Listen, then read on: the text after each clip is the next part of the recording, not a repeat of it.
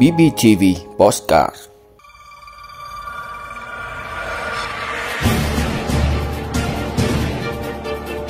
Thưa quý vị và các bạn, kết thúc kỳ nghỉ lễ Tết Nguyên đán cũng là thời điểm hàng loạt các lễ hội lớn nhỏ trên cả nước diễn ra sôi nổi, thu hút đông đảo quần chúng nhân dân tham gia. Vào những dịp này, người dân với tâm lý thoải mái thường khoác lên mình những bộ trang phục đẹp, đeo nhiều trang sức lộng lẫy, sử dụng điện thoại để chụp hình. Vâng, thưa quý vị, đây chính là thời cơ vàng cho các đối tượng chuyên hành nghề trộm cắp, cướp giật, bóc túi hoạt động. Chỉ vì mất cảnh giác mà nhiều người đã trở thành miếng mồi ngon cho các đối tượng. Các đối tượng này coi việc móc túi giật đồ như một nghề để kiếm sống. Ở đâu có lễ hội, bọn chúng lại kéo nhau đi thành từng nhóm để dễ bề hoạt động. Vậy thủ đoạn mà các đối tượng sử dụng như thế nào? Người dân cần làm gì để bảo vệ tài sản của mình khi đến những nơi tập trung đông người? Nội dung này sẽ được chúng tôi đề cập trong postcard câu chuyện cảnh giác của BBTV ngày hôm nay. Hiếu Trung và Mỹ Duyên rất vui được gặp lại và đồng hành cùng quý vị.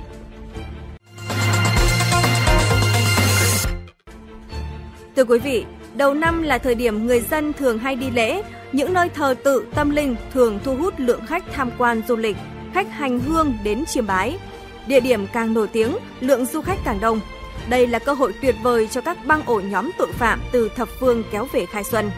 Các đối tượng phạm tội hay xuất hiện trong các lễ hội dịp đầu năm thường là các đối tượng cướp giật và trộm cắp tài sản.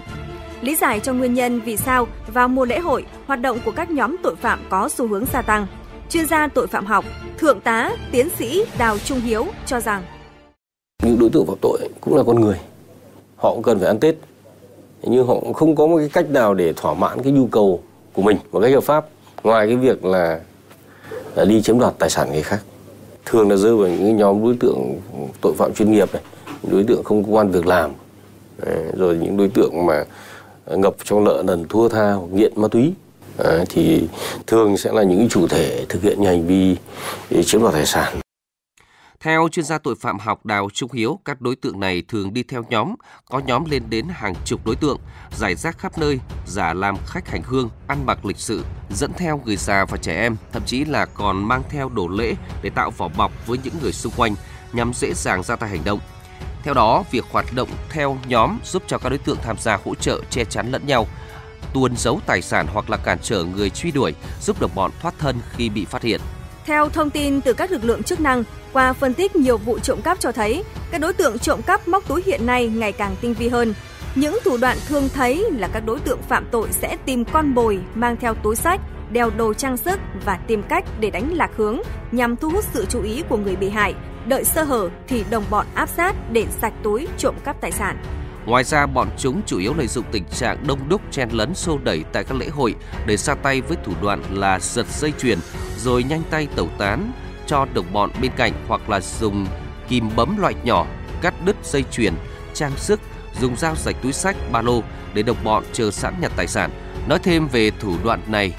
Thạc sĩ tiến sĩ Nguyễn Thị Hồng Loan, Phó Giám đốc Trung tâm Nghiên cứu Tội phạm học và Điều tra Tội phạm, Học viện Cảnh sát Nhân dân cho hay. À, chúng sẽ lợi dụng tìm đến những cái địa điểm mà uh, tập trung rất là đông người. Uh, và thường thường là những cái điểm mà mọi người có cái sự chen lấn hỗn độn nhau. Ừ. thì đây là cái cái cái địa điểm mà chúng cho rằng rất là thuận lợi để chúng có thể mà tiếp cận và áp sát được ừ, các cái nạn nhân. À, chúng lại thường thường là quan sát để mà phát hiện ra những cái sơ hở của các cái chủ sở hữu tài sản. Ờ, chẳng hạn như là những cái người mà thường thường đeo túi sách này đấy, hoặc là mang ví hoặc là hay để tiền hoặc tài sản ở phía túi sau đấy hoặc là túi hai bên sườn thì đây là những cái cái cái cái cái cái địa điểm mà các cái đối tượng sẽ rất dễ tiếp cận dễ áp sát và dễ thực hiện hành vi với ước nguyện những điều tốt đẹp nhất sẽ đến trong năm mới, khách hành hương thường tập trung cao độ vào việc hành lễ mà không để ý đến những người xung quanh. Trong những tình huống như vậy thì người bị hại không hề hay biết hoặc có biết cũng khó xác định được đối tượng gây án để kịp thời hô hoán bắt giữ. Tất cả diễn ra trong nháy mắt và khi người bị hại phát hiện ra mất đồ thì chúng đã nhanh chóng biến mất vào đám đông. Chia sẻ thêm về vấn đề này, chuyên gia tội phạm học Đào Trung Hiếu cho hay. Thực tế ra thì trong một cái đám đông, những người lễ hội thì rất khó cái việc phát hiện đâu là đối tượng phạm tội, đâu là người hành hương bình thường vì những đối tượng phạm tội cũng có thể là có vỏ bọc rất là sang trọng như một người hành hương bình thường do đó chúng ta cũng không thể cảm tính chúng ta nhìn nhận cũng theo chuyên gia Đào Trung Hiếu, thủ đoạn của các đối tượng vẫn không có gì mới, đó là rình rập tìm cơ hội và ra tay hành động nhanh chóng. Tuy nhiên, lỗi một phần ở chính những người sở hữu tài sản đã không chủ động bảo vệ tài sản của mình một cách chú đáo. Trong cái cơ chế hành vi phạm tội nói chung và của tội phạm xâm phạm sở hữu nói riêng thì nạn nhân luôn đóng một cái vai trò ở cả ba khâu làm lẩy sinh ý định phạm tội, làm kế hoạch hóa hoạt động phạm tội và cuối cùng là quyết định thực hiện phạm, hành vi phạm tội trên thực tế. Nếu như nạn nhân không để những tài sản hơi như bên ngoài, những đối tượng sẽ không biết có đồ để ra tay, nhưng khi bằng cái sự hớ hênh chủ quan, thiếu cảnh giác của nạn nhân thì các đối tượng phát hiện ra thì rất thuận tiện cho cái đối tượng tiếp cận để rạch, để móc túi. Vâng, thưa quý vị, cũng chính vì sự chủ quan lơ là mất cảnh giác đã có rất nhiều người trở thành nạn nhân của thủ đoạn này. Vào Tết Nguyên đán Quý Mão 2023, Công an thành phố Hà Nội đã phát hiện và truy bắt được nhiều vụ trộm cắp móc túi diễn ra trên địa bàn. Có thể kể đến vào ngày 23 tháng 1, Công an phường Yên Phụ, thành phố Hà Nội tiếp nhận tố giác của nhiều du khách, trong đó có chị Phạm Thị Hát, trú tại quận Hai Bà Trưng, Hà Nội, bị mất trộm một chiếc điện thoại di động nhãn hiệu iPhone 14 Pro Max màu tím trị giá khoảng 37 triệu đồng khi đi lễ tại chùa Trấn Quốc. Bằng các biện pháp nghiệp vụ, khoảng 16 giờ cùng ngày, tổ công tác của Công an phường Yên Phụ, Công an phường Quảng An đã nhanh chóng phát hiện, kiểm tra bắt giữ kẻ gian là Chu Văn Dũng tại khu vực đường Đặng Thái Mai. Tại cơ quan công an, Dũng khai nhận đã đến chùa Trấn Quốc đi lễ đầu năm với mục đích trộm cắp tài sản. Tại đây Dũng thấy có nhiều du khách sơ hở trong việc bảo quản tài sản, để điện thoại trong túi sách, túi đeo hoặc là túi áo khoác ngoài. Thấy tình trạng đông đúc, nhiều người chen lấn nhau, Dũng đã trà trộn trộm tài sản bằng cách đến gần áp sát người đi lễ, rồi dùng tay kéo mở khóa túi sách, túi đeo của những người này, nhanh chóng lấy trộm điện thoại di động được cất bên trong.